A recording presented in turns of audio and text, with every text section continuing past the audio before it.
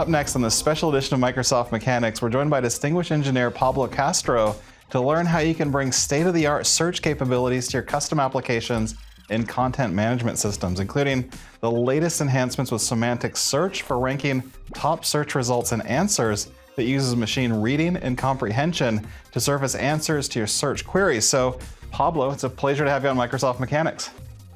Thanks, Jeremy. Happy to be here. And it's a real privilege to have you on the show as one of the leaders for intelligent search at Microsoft, and congrats on today's announcements. But before we get into this, though, for those of you who are new to Azure Cognitive Search, it's a PaaS solution in Azure that allows you to integrate sophisticated search capabilities into your applications. As an example, large industrial manufacturer Howden use Azure Cognitive Search to be able to quickly drill into the details of customer equipment requests so they can respond with accurate bids. Now, the Azure Cognitive Search platform helps you to quickly ingest, enrich, and explore structured and unstructured data, and you can integrate Azure Cognitive Search into your customer facing mobile apps, your e commerce sites, and line of business apps. So, Pablo, Azure Cognitive Search really brings together some of the best work from Microsoft across search and AI and really makes it available for everyone. It really does. We've been lucky to be able to harness a lot of the amazing work of Microsoft Research. We also combined it with our extensive partnership with the Bing team. We've developed a lot of advancements for Azure Cognitive Search. Everything starts with data ingestion. So you can bring data from any source. You can automatically pull data in from an Azure data source, or you can push any data you want to the search index using the push API. Of course, this content is not uniform. It exists in different formats, and it's anything from records to long text to even pictures. So we taught search to extract and index information from any format, applying machine learning techniques to understand latent structure in all data. For example, we extract key phrases, tag images, detect language, locations, and organization names. And you can also bring your custom skills and models. This combination of cognitive search and with cognitive services in fact makes search able to understand content of all nature. Right, and I remember a few years back, we actually showed a great example for this. So we took the John F. Kennedy files, really comprised of decades old handwritten notes and photos and typed documents. Then with Azure Cognitive Search, we could understand the data and even surface new insights that had never been seen before. Yeah, the sophistication of data ingestion, the smarts to understand and index content, along with keyword search, it's something we've had for a while. And we've seen many of you take advantage of this for lots of interesting scenarios. Today, we're announcing the next step on this journey with the new semantic search capabilities that include semantic relevance, captions, and answers in preview today. I have this demo application that's fronting a cognitive search index with a dataset that's often used for evaluation purposes called MS Marco. Let's search for what's the capital of France. You can see that the results match the keywords in our search. But it looks like the ambiguity of the word capital in particular caused uh, top results to be a bit all over the place. We see capital punishment, capital gains, the capital of Kazakhstan, removals in France. Now I'll enable something brand new, semantic search. And this auto enables spelling as well. With semantic search, the Azure and Bing teams have worked together to bring state of the art learned ranking models to Azure for you to leverage in your custom search solutions. Now, if I go back to the page, you'll see the results side by side. Keyword search on the left, semantic search on the right. You can see how on point the new results are. They're about France and they discuss its capital with links to Britannica and World Atlas. Note that this huge improvement in quality only required me to enable this option. Now, let's take this to the next level with semantic captions and answers. Let me go back here into settings and enable both of these features. Not only do we see relevant results, but we can see captions under each result that are meaningful in the context of our query. We can also see an actual answer proposed by cognitive search. So now you can create the same kind of experiences uh, that web search engines offer, but for your own application and on your own data. And what I love about this is that the answer is actually presented directly in the context of the search, and you don't have to click on an additional link then to find your answer. So, what does it take then to add something like this semantic search into our apps? Oh, it's not that hard to get it running. Let's first walk through how to ingest and enrich data in cognitive search, and then we can dive into the new semantic search.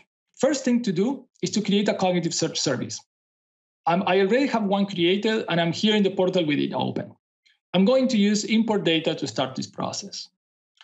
You can see we support many Azure stores. In this case, I'm going to point to an existing blob storage account with unstructured data in it. In the next step, I can enable one or more cognitive services or custom models to enrich the data I'm ingesting. So I'll add enrichments.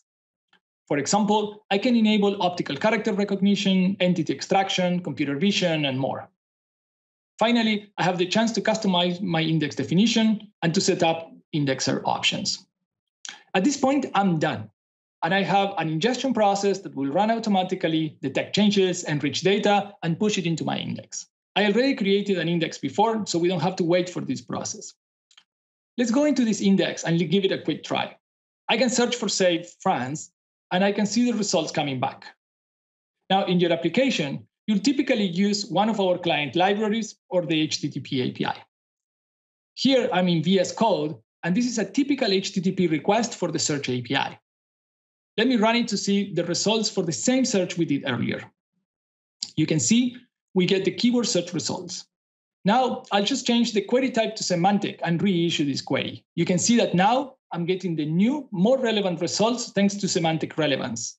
That one line was all I needed. A few more tweaks will also enable captions and answers. And since these options don't require reindexing, you can easily try this on your existing applications as well. Right, these all look like pretty simple API calls, but behind the scenes at the service level, there's a ton of complexity going on there. Right. We take care of the data science to give you state of the art search results without having to create your own ranking models from scratch. At the same time, we also take care of the infrastructure to run our ranking and machine learning models efficiently and fast. All of this of what you've shown would have taken a ton of effort if we were trying to build this ourselves, but what kind of improvements have you made to make all of this possible? So let's start by explaining traditional keyword search. Here, you would match each word in a search query against an inverted index, which allows for fast retrieval of documents based on if they contain the words or search terms that you're searching for. This returns documents that have those words.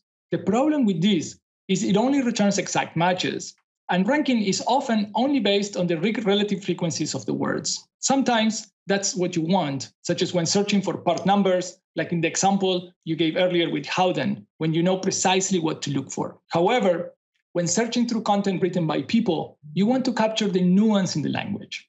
So we added a few key components to improve search precision and recall. First, we added a step so as a search query comes in, it passes through a new spelling correction service to improve document recall. Then we use the existing inverted index to retrieve all candidates, and we pick the top 50 candidates using a simple scrolling approach that's fast enough for scoring millions of documents quickly. We then added a new prep step for these search results by running another model that picks parts of the document that matter the most based on the query. From there, the results are re-ranked via a much, much more sophisticated machine learning model that scores document relevance in the context of the query. And still, there's a lot more in terms of uh, how the intelligence works. And in the examples that you demonstrated here, you showed how the semantic search wasn't just matching words, but also understanding the context of the words relative to the words surrounding them. So, what makes all of this possible? This is where we take advantage of recent advancements in natural language processing. Let's put this into context in terms of what it means for ranking and then for answers. First thing we need to do is to improve recall to find all candidate documents. So in our example search, a key concept was the word capital. The search engine needs to understand that the word capital could be related to states or provinces, money, finances, or a number of other meanings. So to go beyond keyword matching, we use vector representations where we map words to high dimensional vector space these representations are learned such that the words that represent similar concepts are close together in sort of a same bubble of meaning. These represent conceptual similarity, even if those words have no lexical or spelling similarity to the word capital. Okay, so how does it find then the relationship between the words? So now that we have solved for recall, we need to solve for precision in results. Here, transformers, which is a novel neural network architecture, enable us to think about semantic similarity, not just of individual words, but of sentences and paragraphs. This uses an attention mechanism to understand long range dependencies in terms in ways that were impractical before, particularly for models this large. Our implementation starts with the Microsoft developed Turing family of models that have billions of parameters. We then go through a domain specialization process where we train models to predict relevance using data from Bing. For example, when I search for what is the capital of France, reading the whole phrase, it's able to identify the dependency between capital and France as a country. That puts capital in context and quickly returns results with high confidence, in this case for Paris. Now, separately, we also build models oriented towards summarization as well as machine reading and comprehension. For captions, we apply a model that can extract the most relevant text passage from a document in the context of a given query. And for answers, we use a machine reading and comprehension model that identifies possible answers from documents. And when it reaches a high enough confidence level, it will propose an answer. And the nice thing here is that Microsoft takes care of all the infrastructure to run these models, but as you say, they're pretty large. So what are you doing then to operationalize these models into production to avoid slow search results?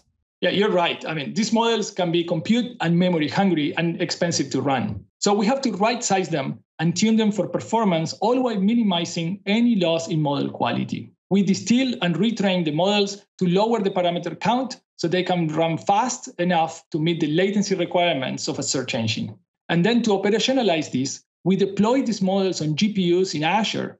And when a search query comes in, we can parallelize over multiple GPUs to speed up scoring operations to rank search results. Great. So all of this then offers a great foundation then to achieve both high precision as well as relevant search results. Now there's a lot behind just those few lines of code that light up these powerful capabilities really as you build out your custom apps, but how can everyone uh, learn more and, and really start using this? You can try it out yourself. You can sign up for the public preview of Semantic Search today at aka.ms slash semantic preview. And we have more guidance on how to get started with Azure Cognitive Search at aka.ms slash semantic get started. Thanks, Pablo. And of course, for the latest updates across Microsoft, keep watching and streaming Microsoft Mechanics. Subscribe if you haven't already yet, and we'll see you next time.